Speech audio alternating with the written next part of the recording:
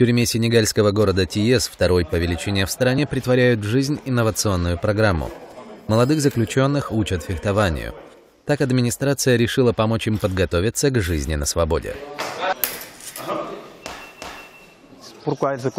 Они учатся быть честными, уважать правила, и через правила фехтования они учатся уважать правила в целом, принимать поражение и лучше себя контролировать.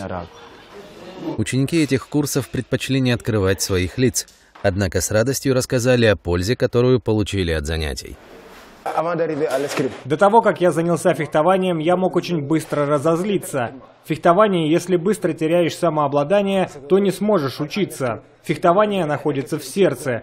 Когда занимаешься, то корректируешь поведение и исправляешь сердце.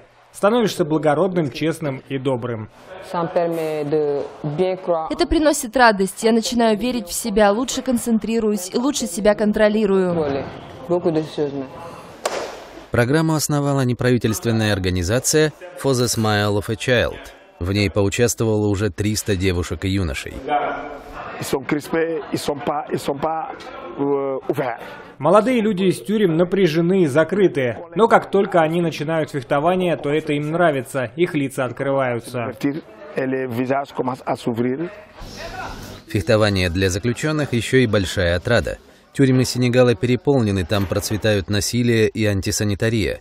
А самое плохое, что суда большинству приходится ждать очень долго. Иногда срок предварительного заключения превышает фактический срок заключения. Но самую большую пользу видно уже после освобождения учеников. Тренер говорит, что из 300 заключенных, которые прошли курсы по фехтованию, ни один не совершил повторного преступления, выйдя на свободу.